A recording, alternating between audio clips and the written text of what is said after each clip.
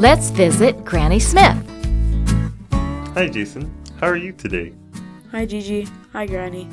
Well, I've been thinking Thinking about what? if we're gonna spend eternity in heaven, I was wondering what heaven is like. Sit back, Granny. I've got this one. Now, heaven is. Now, Gigi, you're not going to say that heaven is a place where everybody flies around wearing white robes, playing harps all day long, are you?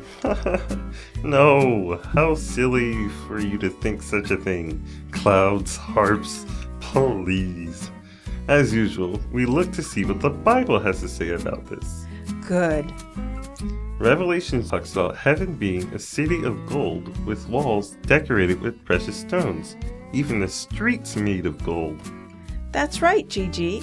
Heaven is a beautiful place, but it won't be like anything here on earth.